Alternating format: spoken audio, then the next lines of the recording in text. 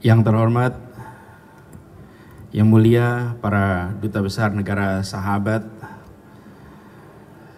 hadir bersama kita duta besar Sri Lanka yang saya hormati, juga para perwakilan dutaan dari Saudi Arabia, Jerman, Maroko, Iran, dan yang saya hormati Wakil Kepala Badan Ekonomi Kreatif Bapak Riki Yosef Pesik, Ketua Umum IKAPI Ibu Rosidayati Rosalina, beserta seluruh jajaran, Ketua Panitia Indonesia International Book Fair 2019, Bapak Jaya Subagya, kemudian juga Sekretaris Jenderal International Publisher Association, Bapak Jose Borgino, Presiden ASEAN Book Publishers Associations, Bapak Attorney Bohen, para tokoh pendidikan, para tokoh perbukuan, kemudian seluruh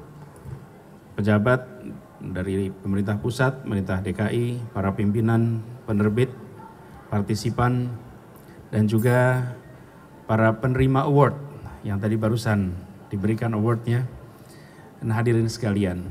Assalamualaikum warahmatullahi wabarakatuh. Selamat siang, salam sejahtera untuk semuanya. Bersyukur sekali bahwa Indonesia International Book Fair sudah mencapai kegiatan yang ke-39 kalinya. Bagi sebuah kegiatan ini usia yang cukup panjang. Tapi bagi usaha untuk memajukan literasi, rutenya masih lebih panjang lagi. Diperlukan lebih dari 39 tahun untuk menggerakkan uh, literasi di, di Indonesia ini. Dan kita bersyukur sekali bahwa kerja teman-teman IKP konsisten menjaga ini.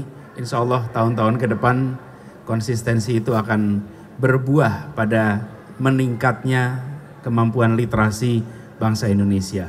Kita beri tepuk tangan untuk teman-teman IKP di sini. Kedua, saya mengucapkan selamat dulu kepada para penerima. Ini empat uh, pionir-pionir kita, Mbak Marcella, Bung Henry, Manampiring, kemudian uh, Pak Firman Hadiansah dan Mbak Firsa Besari.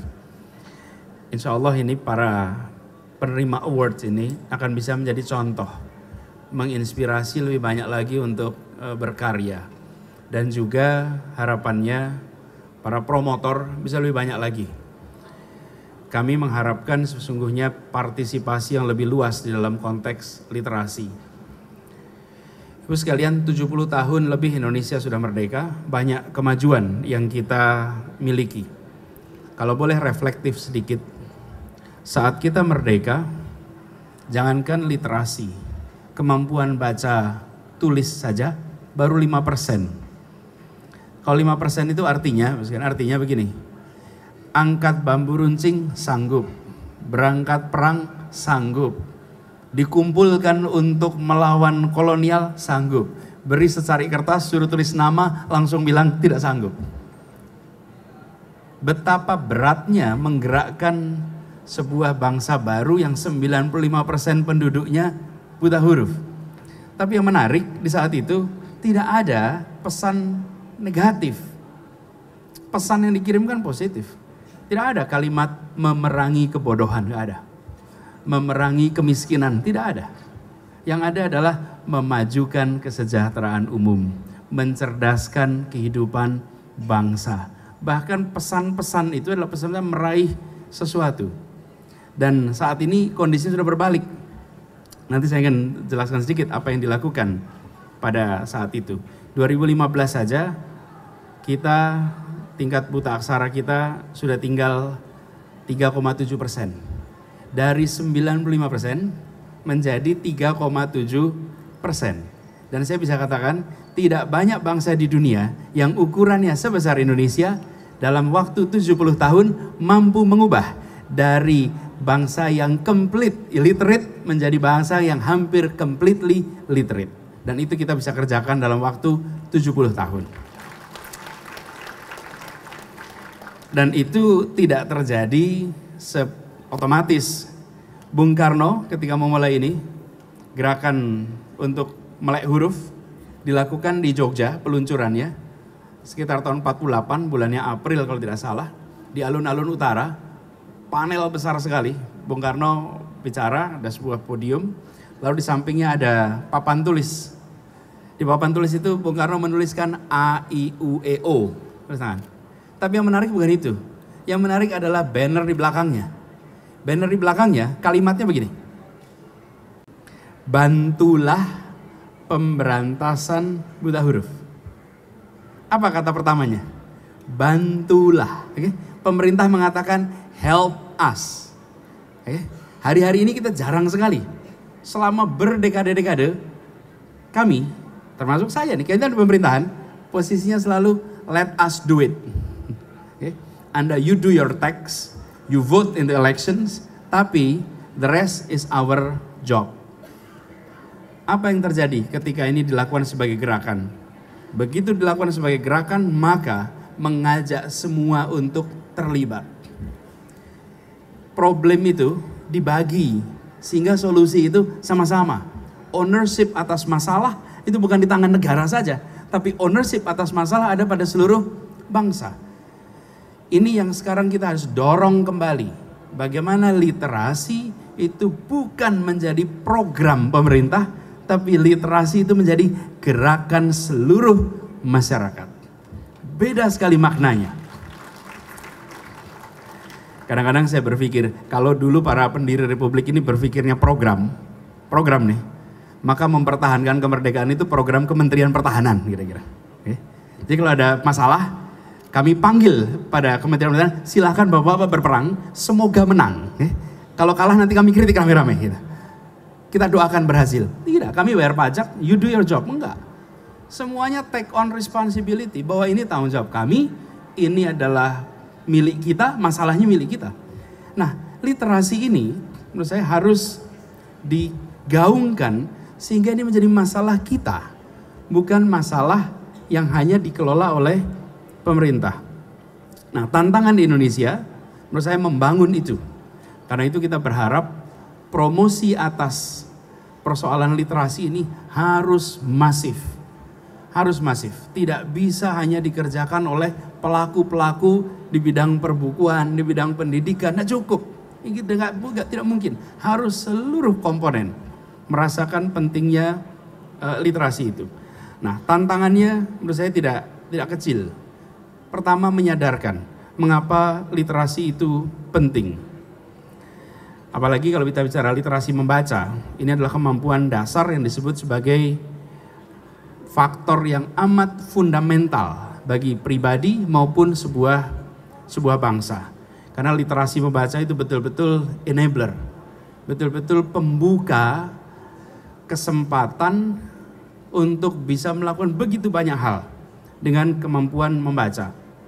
Saya beri ilustrasi yang waktu itu kami kerjakan dan di 2016 eh, waktu itu ada award EKP, kita melakukan, waktu itu saya bertugas di Kementerian Pendidikan Kebudayaan, kami melakukan kewajiban membaca selama 15 menit sebelum pelajaran dimulai tiap pagi. Jadi 15 menit itu baca. Lalu bacanya apa? Baca apa saja. Jangan baca ditentukan gurunya. Tapi baca pilih sendiri bukunya. Boleh dari perpustakaan, boleh dari rumah, tapi setiap anak 15 menit membaca. Apa saja yang dibaca? Tujuannya membuat membaca sebagai kebiasaan. Dimulai dengan diajarkan, didisiplinkan, dibiasakan, sehingga dia menjadi kebiasaan, lalu menjadi kebudayaan, lalu jadi adab. Yang kita bisa peradaban. Sampai ke sana, itu fasenya, titik kuncinya adalah pembiasaan. Bila pembiasaan ini terjadi, maka kita akan memiliki pribadi-pribadi yang punya literasi membaca yang baik. Indonesia jumlahnya dahsyat penduduknya. Sayang kalau tidak kita dorong lewat institusi itu. Tapi tidak hanya di situ. Kita waktu itu dorong soal eh, Frankfurt Book Fair yang alhamdulillah sampai dengan hari ini dampaknya masih kita rasakan. Eh, teman-teman semua kita Bu Claudia ada di sini eh, merasakan sekali bagaimana kita memiliki posisi lebih baik di dunia internasional. Nah, sekarang Bapak sekalian saya hormati, saya ingin cerita sedikit. Bagaimana program-program yang dulu diinisiasi level nasional, sekarang saya bertugas di, di level uh, provinsi Jakarta. Kita dorong program literasi yang dulu nasional dikerjakan lokal. Hari ini malah lebih enak, karena dulu jadi salah satu tantangan jadi menteri itu hanya bisa menganjurkan, tapi tidak bisa menginstruksikan. Karena dinas pendidikan tidak di bawah kementerian, dinas pendidikan ada di bawah uh, kepala daerah, kepala daerah. Sekarang menjadi instruksi bahwa semua harus membaca 15 menit. Jadi di Jakarta semua harus lakukan. Tapi yang tidak kalah penting, saat ini di Jakarta kita memisahkan pariwisata dipisahkan dengan kebudayaan. Dan literasi akan masuk di dalam komponen kebudayaan. Karena kita menginginkan agar pembangunan kebias apa eh, tradisi literasi ini eh, bukan sekedar soal membaca di perpustakaan, sekarang ada di uh, perpustakaan. Dan kita ubah bagaimana fasilitas perpustakaan digeser sekalian. Hari ini kalau kita lihat proses pengelolaan perpustakaan di hampir semua kota di seluruh Indonesia, kecamatan, kota, provinsi itu duplikasi. Hampir selalu sama di seluruh wilayah di Indonesia. Sudah harus digeser. Yang di perpustakaan tingkat kota, eh, provinsi adalah lebih pada referensi yang diturunan di kotanya lebih pada kebutuhan simpan pinjam buku dan yang di kecamatan justru didorong untuk memenuhi kebutuhan literasi keseharian bagi masyarakat. Jadi, Bapak sekalian yang saya hormati, mendorong ini semua kita ingin uh, lakukan sebagai sebuah gerakan. Apa kemudian pendekatannya? pendekatannya kemitraan. Ajak teman-teman, pihak-pihak yang selama ini bekerja di dalam kegiatan literasi untuk bekerja bersama dengan pemerintah. Saya berkali-kali menyampaikan, kekuatan negara itu pada wewenang dan fiskal. Itu kekuatan utamanya. Kekuatan masyarakat itu ada pada kreativitas inovasi. Masyarakat tidak punya kemampuan fiskal, tidak punya kewenangan, tapi inovasi di masyarakat. Negara itu memiliki kewenangan, tapi inovasi dari masyarakat. Karena itu harus melakukan uh, kolaborasi untuk itu. Jadi kami di Jakarta sedang ingin mendorong bagaimana penumbuhan literasi baca uh, khususnya itu dilakukan di semua tempat, ya di sekolah, ya di tempat-tempat yang kita biasa sebut ruang ketiga dan mendorong juga tumbuhnya pasar buku. Bapak sekalian di Jakarta ini pasar binatang ada, eh pasar buku belum ada kita. Alhamdulillah tahun ini kita resmikan pasar buku pertama kali yang ada di eh, apa Keramat gitu. Di boleh tepuk tangan buat Bu MD kita yang sudah bikin. Jadi ketika saya mulai bertugas itu saya bilang, kok bisa kita punya pasar burung tuh? Ada beberapa pasar burung. Tapi bagaimana kita tidak punya pasar buku? Tempat di mana di sini tradisi literasi Indonesia itu ibu kotanya ya di Jakarta. Pertumbuhan semua penulis-penulis awal Republik kita. Nah, yang berikutnya tentang ruang ketiga, Bapak sekalian. Ruang ketiga kita ingin akan dorong untuk menjadi tempat-tempat di mana promosi atas literasi itu dilakukan. Apa itu ruang ketiga? Ruang pertama itu di rumah, ruang kedua itu tempat kerja, ruang ketiga itu di antara rumah dan tempat kerja. Ruang ketiga inilah yang menjadi tempat di mana kita ingin dorong interaksi lebih banyak. Kita bangun tentu public transport. Sekarang di MRT sedang dirancang program untuk para penumpang bisa pinjam buku di stasiun keberangkatan, dibaca di perjalanan, dan dikembalikan di stasiun tempat dia tujuan. Jadi buku bisa dibaca sepanjang perjalanan. Perpustakaan-perpustakaan dibangun, silahkan ambil di perpustakaan di stasiun A, kembalikan di stasiun ujung. Ini semua, sekalian dilakukan sebagai re- rencana serius, strategis untuk merangsang kebiasaan membaca itu. Dan yang tidak kalah penting adalah acara-acara dan festival literasi yang diselenggarakan oleh berbagai komunitas itu difasilitasi oleh negara. Pemerintah hadir memfasilitasi. Seperti juga Backcraft hadir memfasilitasi. Itu harus kita dorong lebih banyak di, di semua aspek. Kami percaya pendekatan seperti ini akan sangat membantu di dalam kita menumbuhkan uh, tradisi uh, literasi kita. Dan Bapak sekalian yang saya hormati kalau kita lihat uh, contoh-contohnya di Jakarta ini tadi saya sebutkan beberapa tapi yang saya ingin dorong lebih jauh adalah bagaimana kita mempromosikan memang buku.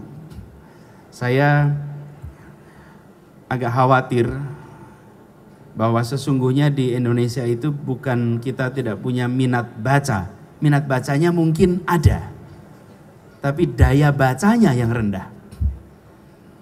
Dan kita harus bedakan antara minat baca dengan daya baca. Sebagai contoh sekalian, buku Thomas Piketty, ini buat ilustrasi aja. Thomas Piketty itu baca di mana-mana. Panjangnya 800 halaman lebih. Capital in the 21st Century judulnya. Itu kalau diterjemahkan lalu disubsidi besar-besaran sehingga warga kalau beli hanya 30 ribu. Kira-kira laku tidak? Gitu. eh laku tidak? Jadi jangan salahkan harga dulu nih.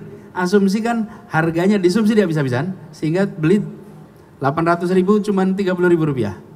Saya hampir yakin tidak laku. Bukan persoalan harganya tapi persoalan daya bacanya. Karena itu target yang harus kita dorong sesungguhnya bukan hanya meningkatkan minat baca. Alhamdulillah minat baca kita tinggi, minat baca WA. Itu cukup tinggi. Bangun pagi buka WA, minat baca tinggi. Tapi WA pun begitu agak panjang skip. Ya kan, begitu agak panjang skip. Kemampuan kita untuk membaca. Karena itu kalau kita melihat ada novel-novel bagus, panjang dan laku keras, maka kita harus berterima kasih kepada penulisnya karena sudah merangsang daya baca. Jadi terima kasih untuk Marcella ini dan teman-teman. Karena begitu panjang, kita terima kasih. Uh, saya dulu dulu ketika Harry Potter uh, berkembang begitu pesat, saya berkali-kali bilang sebetulnya kalau dari isinya ya plus minus lah kita soal selera. Tapi saya senang bahwa ada anak-anak membaca buku 700 halaman, 800 halaman di usia SD. Maka percaya diri dia atas buku tebal itu meningkat. Kalau tidak, lihat 100 lembar pun dia sudah mundur. Nah, kita harus mendorong daya baca untuk meningkat. Ini kemampuan untuk membaca, mencerna materi-materi yang serius, panjang, dan membutuhkan usaha kognitif yang ekstra. Itu yang menurut saya harus kita dorong lebih lebih jauh.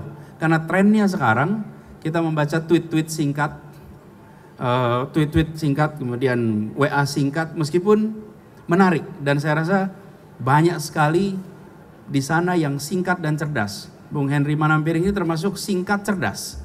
Ini salah satu apa uh, newsletter ini salah satu yang bisa mengekspresikan kompleks masalah di dalam kalimat singkat dengan akurat. Itu tidak banyak yang bisa melakukan seperti itu. Tapi kita juga membutuhkan justru kita mendorong lebih banyak lagi yang bisa membaca secara mendalam. Supaya masyarakat kita bukan hanya didorong untuk menjadi scanner, tapi menjadi reader. Kalau kita hanya seperti biarkan situasi ini, maka khawatir kita menjadi uh, scanner saja, bukan menjadi pembaca. Karena itu sekalian kita berharap ke depan literasi ini menjadi sebuah gerakan. Jangan hanya menjadi program pemerintah. Dan artinya pemerintah membuka diri, membuka pengaturan anggarannya sehingga anggarannya bisa untuk memfasilitasi tumbuhnya kegiatan-kegiatan masyarakat untuk kegiatan literasi. Kegiatan literasi luar biasa banyak. Kebanyakan berjalan sendirian. Kebanyakan berjalan sendirian. Negara belum tentu eh, hadir di situ. Dan sekarang negara punya instrumennya. Namanya swakelola, swakelola tipe 3 dan 4. Swakelola tipe 3 dan 4 kita harus beruntung, bersyukur bahwa pemerintah mengeluarkan peraturan pemerintah tentang pengadaan barang tipe swakelola tipe 3 dan 4 ini baru keluar tahun lalu. Dengan cara seperti itu begitu banyak sekarang bisa dilakukan oleh pemerintah di mana-mana, khususnya pemerintah daerah.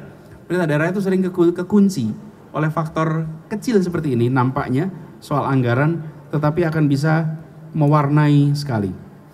Jadi kita juga sekalian berharap dari sisi civil society, keterbukaan dari pemerintah perlu disambut. Kami berharap di Jakarta kita bisa memulai kami sekarang mendorong kegiatan, contohnya ini bukan hanya literasi, teater.